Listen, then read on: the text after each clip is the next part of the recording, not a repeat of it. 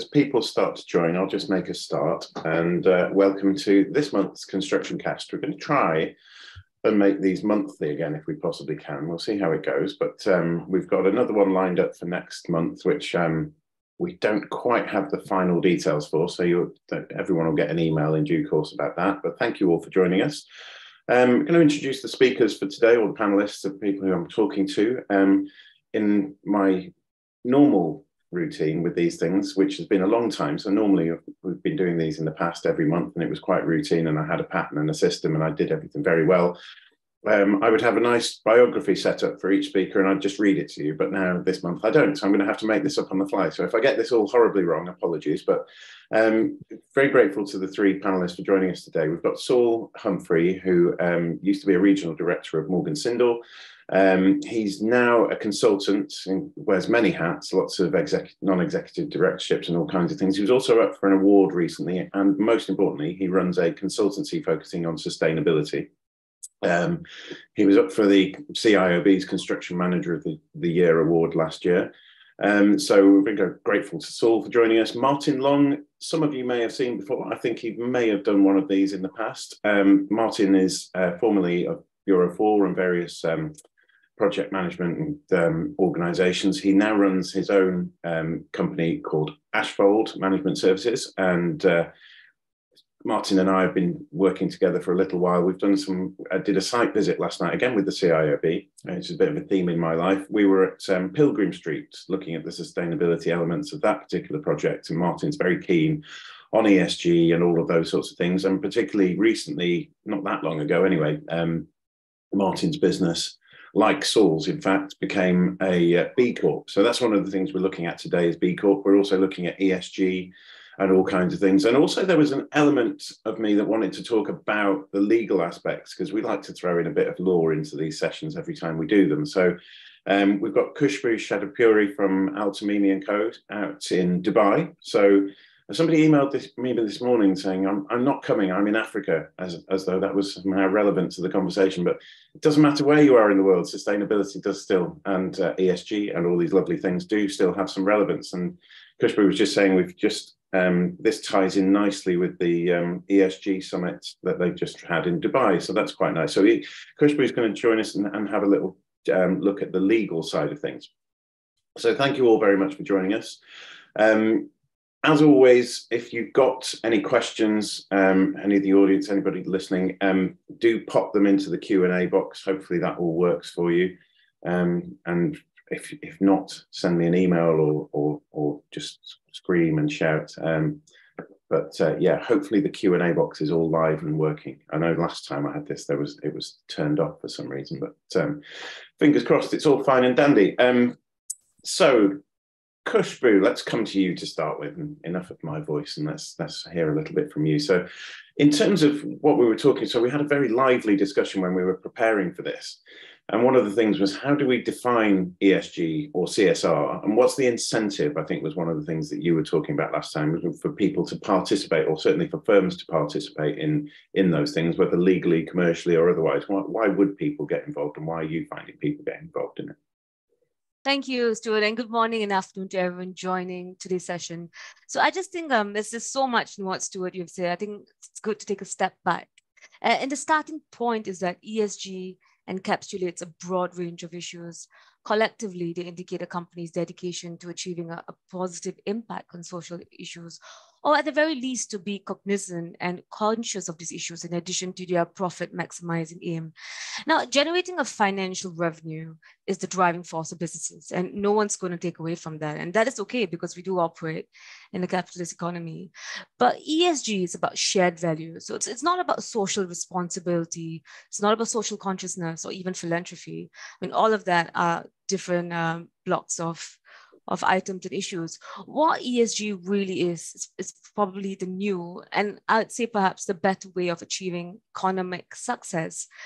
Um, so that's ESG broadly. And, and as some of you may know, there are three very distinct disciplines or pillars of what makes ESG. So we have the E, which is the environment, which is probably I'd say the most highlighted aspect of ESG. So we have climate change, we have uh, carbon emissions, energies, waste disposal, all of these issues going under the environment E.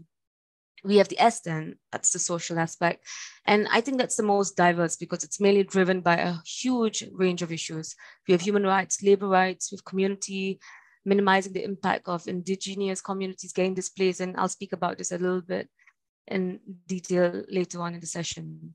And then we have the G, the, gov- the governance. And there's probably less clarity on what G is, but it's really about business ethics, about executive pace, about management being aligned with shareholders' expectations, about honoring and respecting shareholders' rights. So that's the G aspect of it. Um, and I think CSR is probably seen as a traditional form of, of ESG. ESG has been a buzzword for the last two, three years. And I think traditionally people saw ESG, sorry, CSR as a form of ESG. And I think that's probably right because CSR is probably the internal strategy of an organization that would then come to form part of ESG. And, and just speaking a little bit about the Middle East region, because that's where I'm based at the moment, most countries in the GCC have a net zero ambition by 2015, 2060. And in the GCC, family businesses actually make up about 60% of the region's GDP. So then we come to this age old adage. How do we get private sector buy-in for sustainability in their business planning? What's the incentive to create value chains to reduce waste?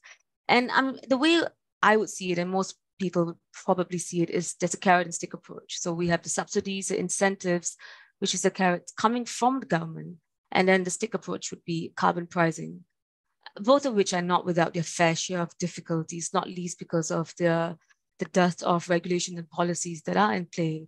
There's also reputational risks. Um, companies don't want to be seen as being non-compliant with ESG standards. So that's been helpful as well, especially in today's day and age of social media, things get reported instantaneously. So that's been quite helpful to see a push towards voluntary compliance with ESG standards.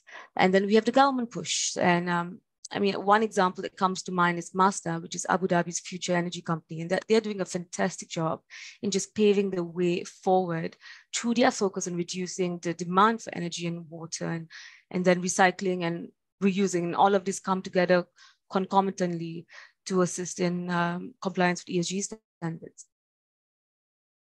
Brilliant, thank you. That's a nice little helpful summary to bring us in. And I think, yeah, that, that's the thing, isn't it? It's the, people that do it voluntary, voluntarily and the people that do it for fun, sort of thing, which is which is brings me nicely to Martin and, and Saul, um, who I don't know if it's fun is perhaps a bit of an extreme word to use, but um, so you guys have, have been involved in various um, initiatives and there's and one of the things that gets me with all of this and I, I know people get very confused about all the acronyms that ESG and CSR and B Corp and BREEAM and LEED and EPC and WELL, and there's all kinds of certificates, qualifications, standards. What you know, what's the difference between them all? What are the benefits? And what, should anyone care? Why should anyone care? I guess is the question. So, I guess Saul, could we start with you and Martin, if you can jump in with your thoughts as well? Glad I've gone in the middle because uh, I, I, think Khushboo did really well starting it all off, and Martin can now put me right. So this is perfect. Um, I think there's a difference with the organizational level commitments, the strategic business commitments, which might be um, captured with CSR or ESG type language. Um, to commit the organization to follow a, set, a certain pathway, and B Corp is one of those. B Corp I think the phrase, if you if you achieve it, you get the accolade that this company meets the highest standards of social environmental impact. So it's a nice kudos to say done. We've proved we're there. But to get there is quite a hard journey. Um, and it does involve aligning everything the business does with all 17 of the United Nations Sustainable Development Goals and much more. So it's quite quite difficult. It's quite cumbersome. It's quite hard to prove and demonstrate compliance. And I don't know about you, Martin, but it took me over a year to from start to finish to get there. Um, partly because it's so popular, and I think there's a lot of people now starting that pathway.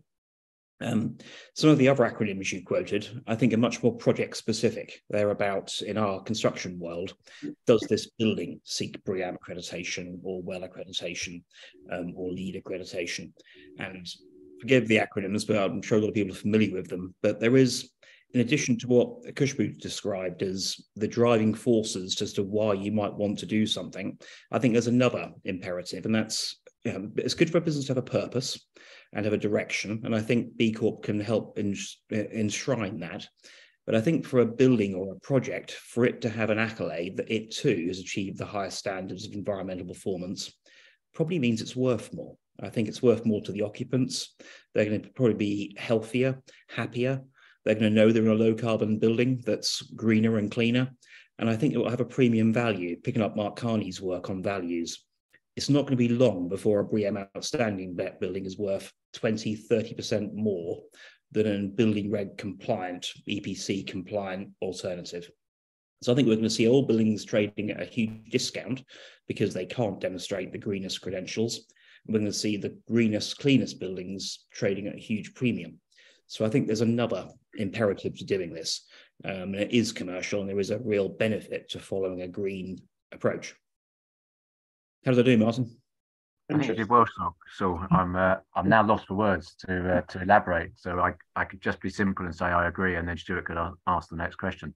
I think um, I think probably you've you've come from a, a large corporate environment and are now um, interested in the subject and have, have, made B Corp something that you've felt very strongly about personally.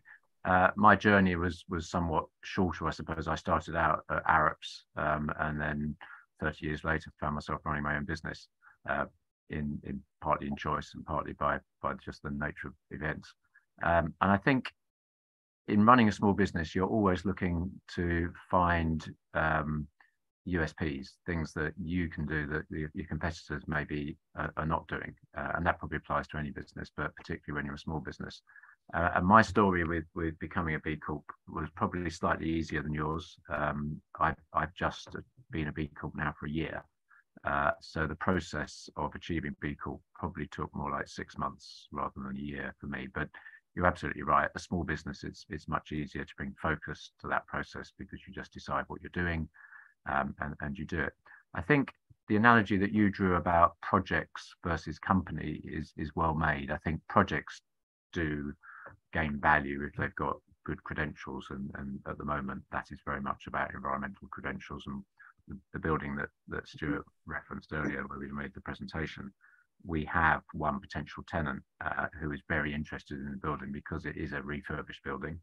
Um, and it ticks a lot of their boxes and they've got outside terrace space that they can get to and, and get to fresh air. And I think through COVID, building occupiers have become the perceptions of what makes a good office has changed, um, and so people want um, you know lots of green spaces and lots of flexible spaces, and, and that is all very interesting, and, and I think that will evolve um, around a much more sustainable model. In terms of business, I liken B Corp to a bit between, uh, if people remember Investors in People and QA, they're both things that you're structured around doing and, and need to get compliance. But the difference with B Corp is that it didn't come out of uh, another industry. It didn't. It wasn't an institutional thing.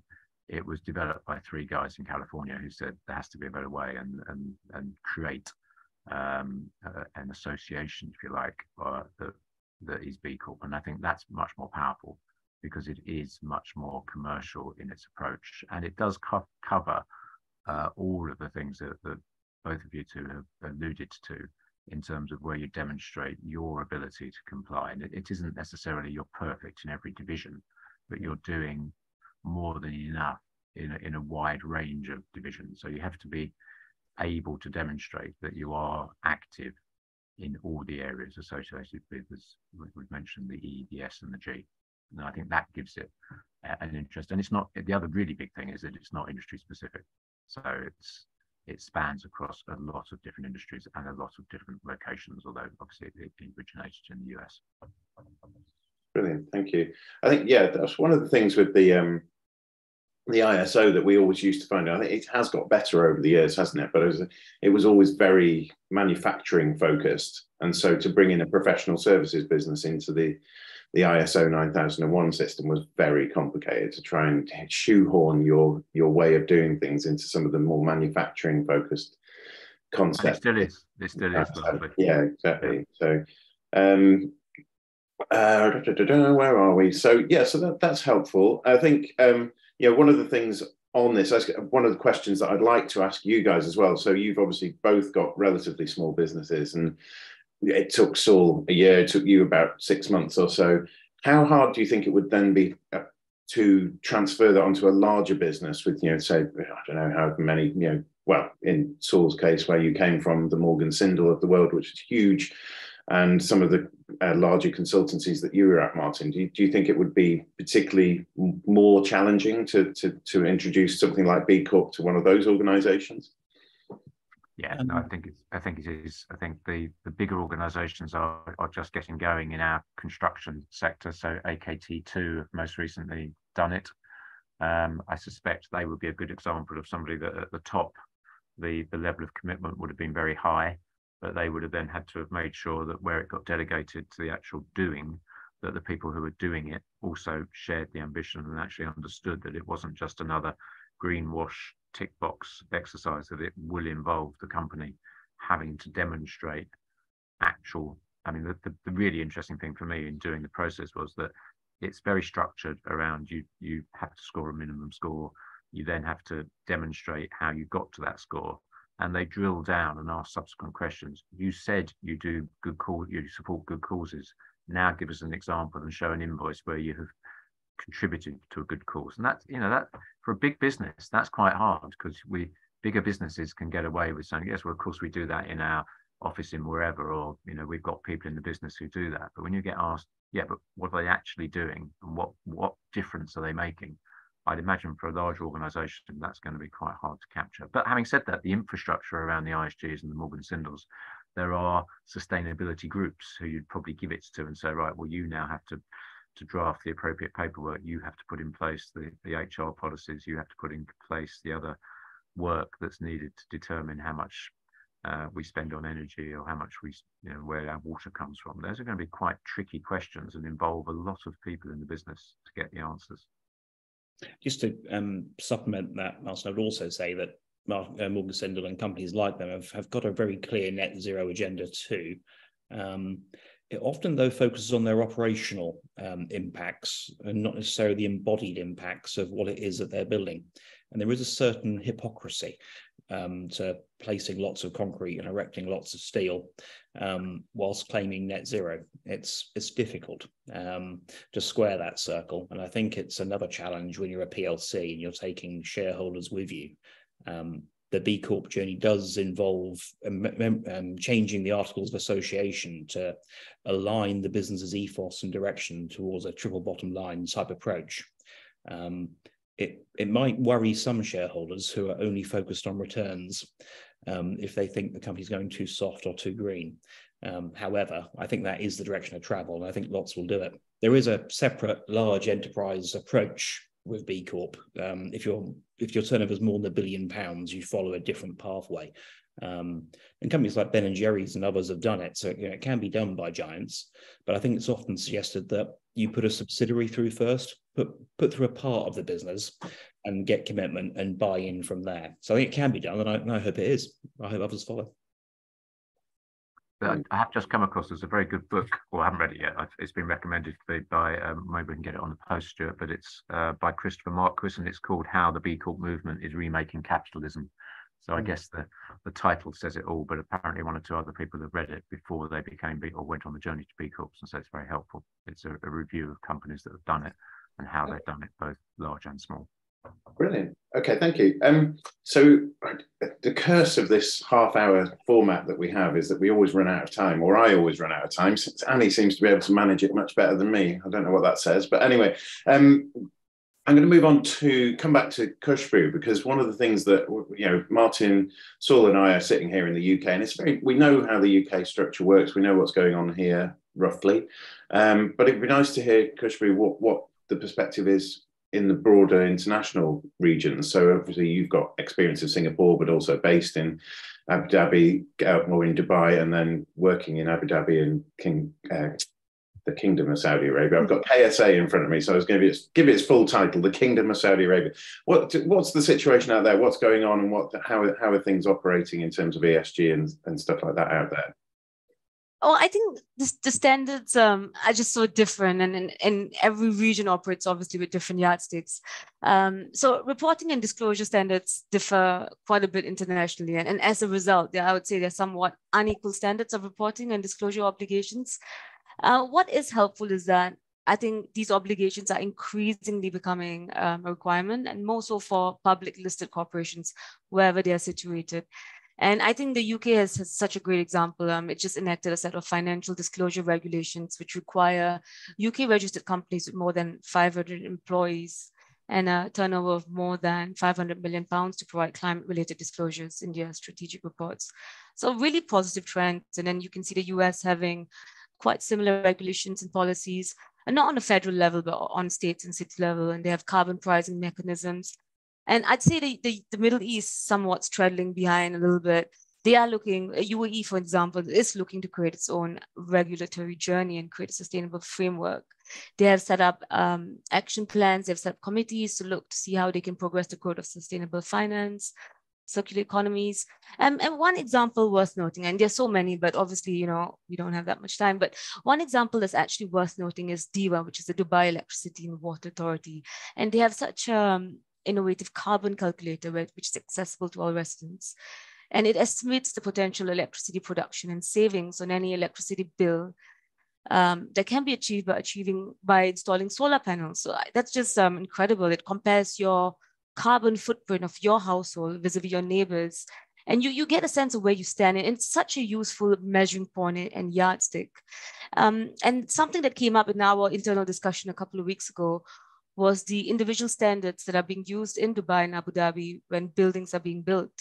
Um, and the UAE government actually very recently has approved plans to create what's called National Building Regulations Policy. So what, what this does is create on a federal level, a green building code aimed to introduce the same, the, literally the same sustainable standards for buildings, for roads, for homes. And we, we're still awaiting further details, including whether compliance with these standards are mandatory, what are the consequences of non-compliance. But the fact that this is being thought of at this point, I mean, that itself is such a welcomed addition. And I, I think it's a positive trend for the Middle East and generally for I would say globally as well as this movement continues. Yeah, I think it's really interesting to hear that you know that the again you know we always think I, I think the media if I can use the word tend to give us the impression that the US doesn't care about the environment and things like that. So it's interesting to hear you mention that the, the US are doing that. And obviously, we know, you know, the, the LEED and stuff like that is, an, I think, an American thing, isn't it? But yeah, it's really interesting to hear what's going on in different parts of the world and stuff. So thank you very much for that. Um, but in terms of legal stuff, so this is this is the the, the interesting bit for me because I'd never even considered that there could be disputes over um, ESG and and uh, so from your perspective, Khushboo, what, what, what does it mean in legal terms and why do disputes arise over it? And then what, what's, yeah, what are your thoughts from the legal side of things and what, what are the, the implications on that side? Uh, it's a bit of a quagmire at this point for various reasons. Um, so, legal consequences arising from non compliance of ESG related standards. These will depend on whether these standards are voluntary, are they mandatory.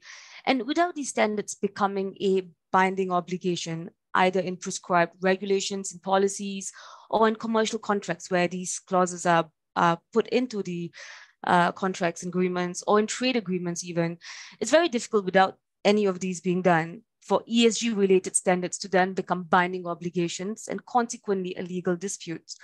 And all of this needs to happen, I suppose, in parallel. There needs to be uh, leaders need more skin in the game. There needs to be better policies. There needs to be more binding and better defined standards, especially for the S, as someone rightly put in in this chat box. Um, there is no standard in what social disputes. It could be anything. You know, it could be labor rights. It could be um, being displaced by my community home because of a really big project.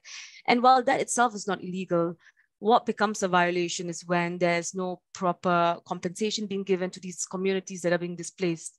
Um, so the, the shift just needs to happen to get ESG standards to becoming binding rather than voluntary obligations. Um, and this will then attract legal consequences, attract financial consequences and concomitantly reputational risks.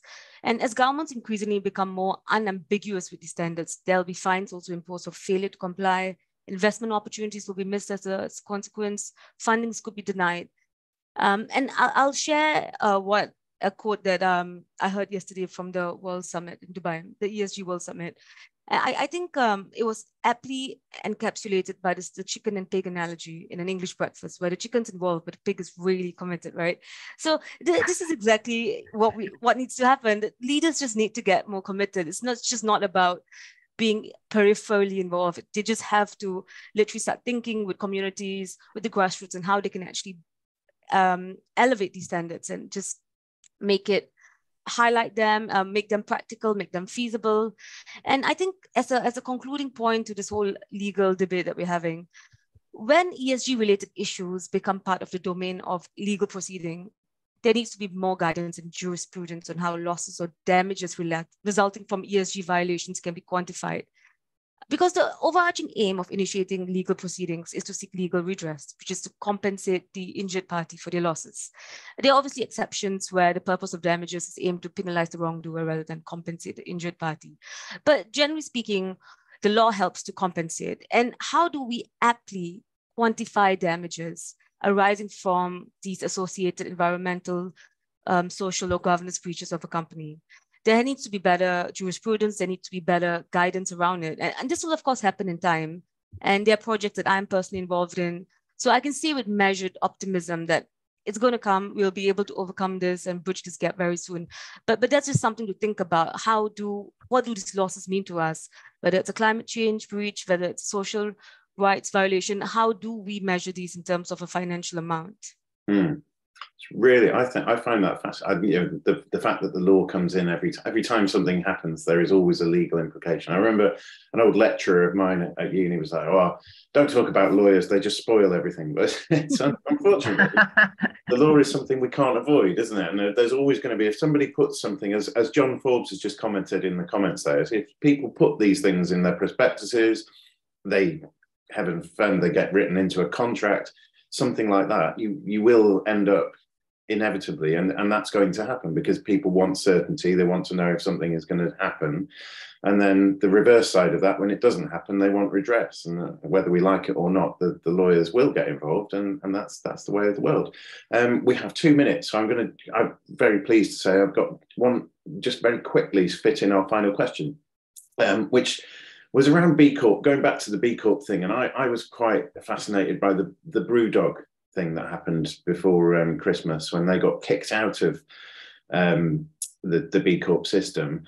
Uh, has that led to a, a, reduction in credibility credibility or do you think it's better for the credibility of b corp what, how, how, do you think that's something that's going to be an issue as more and more organizations become b corp um, accredited or certified, will that water down the, the credibility of B Corp, do you think? I, well, if I if I grab the moment on that, I, I, I don't think so. I think they acted very swiftly, and the removal was um, appropriate. Um, I think it was the G that they were, question, were failed on, or were deemed to have failed on. And I think this is the problem when you when you follow a pathway um, to claim that you're net zero, or you're greener or cleaner, or someone else, or you've got excellent ESG criteria. You've put yourself on a pedestal. It's a it's further to fall. So I think businesses do have to be very careful that they're being authentic and honest in all of these issues. But I thought BCAP, B Corp acted quickly and swiftly, and they've subsequently tightened up their governance criteria. Um, so yeah, I think they did well. Any thoughts, Martin? You? No, I, I, agree with Saul. I think um, there are one or two dodgy um, companies that, and I think Saul made the point earlier that if you are Unilever, you start with your Ben and Jerry's uh, brand because it fits their their image, and then but you know Unilever at its heart uh, again companies like BP have tried and failed, and you know circumstances have shown that they hadn't actually changed their outlook on life. It was all about greenwash and, and marketing speak. I think the diff- we haven't talked about them in this call. We've kind of run out of time, but the the generation, the millennials that are you know the kids or the or the, the 19 to, to 30 age group are going to be much more persuasive in this department. I think they've grown up in a time when this all became much more relevant, and I think they will be very skeptical about greenwash and be looking for real differentiators if you know not only in where they buy their products from but equally who they want to work for and what the what the whole package of being a, a man at Unilever or a woman at Unilever that that's still going to be a big thing but it's going to mean a much much more commitment from the Unilevers of this world to to be doing the right thing not just the thing that is commercially the imperative. Mm, mm.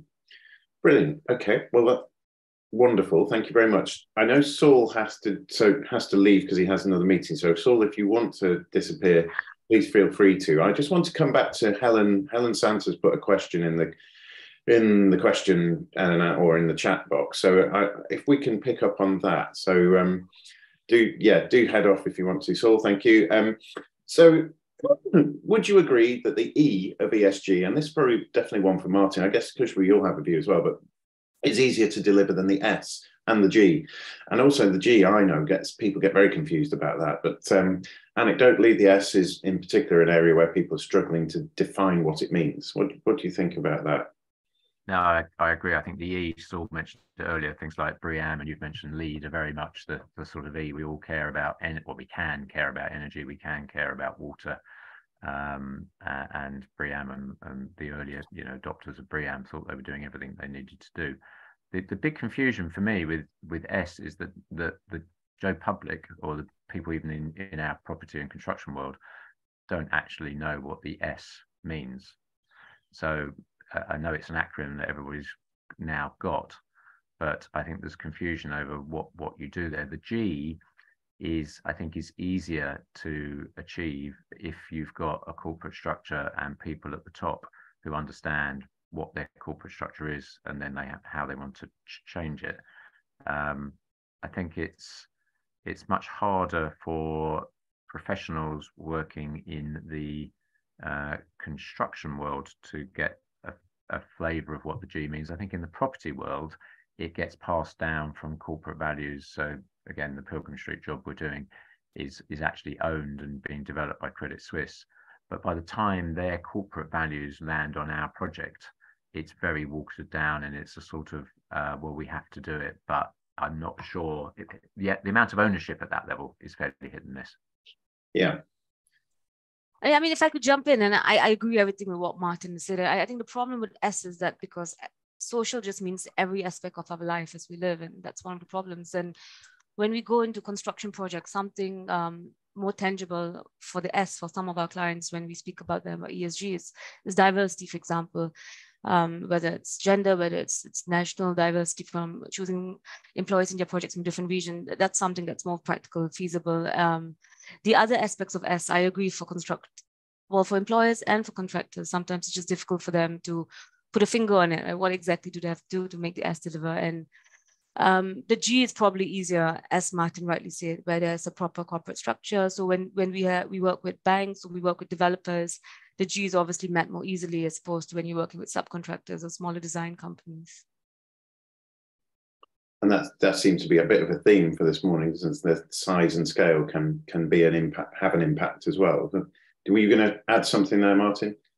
I think startups is an interesting place. I've always read uh, my business reading has always kind of focused on on people that write stories about startups and there's one uh, it's an old book now it's probably 20 years old and it's it was called um, when giants learn to leap or learn to dance I can't remember who it was written by, but it was uh, it was all about the breaking up of GE and getting it into smaller subdivisions.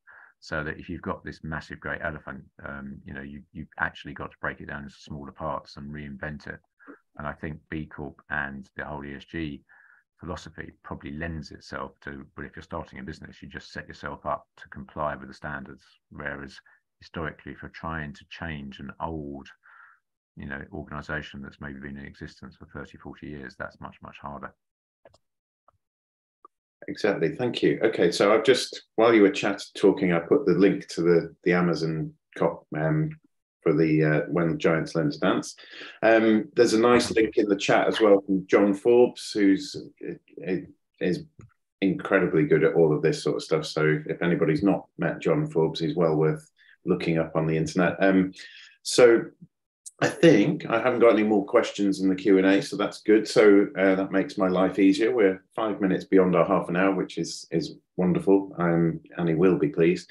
Um, if anybody does have any questions, would it be unreasonable for me to say, Martin, about the B Corp journey if, if anybody wants to drop you an email or anything yeah, like do. that. No, no, I'm more than happy to talk through our experience and uh, demy- well, not demystify. I don't think it's that complicated. It's a very straightforward process, and, and I'm very skeptical about doing process-driven things because I find them tedious. So my attention span is very small.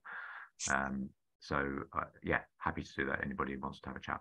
Brilliant. So yeah, so I've just put Martin's website in the chat as well. So it's ashfoldservices.co.uk. I think that's right, isn't it? I should know by now. You should know. Uh, and um, and all that remains is to say thank you very much. Thank you to everyone who's who's tuned in this morning. The recording and a little write up will be on on our website very shortly and on YouTube.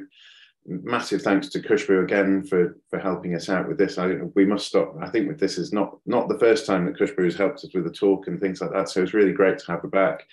And um, thank you, Martin, for joining. And thank you to Saul, who's had to go off and do other things with people who pay him actual money. So thank you very much indeed. Thank you. Thank you so much. Thank you. Bye. Bye. Bye.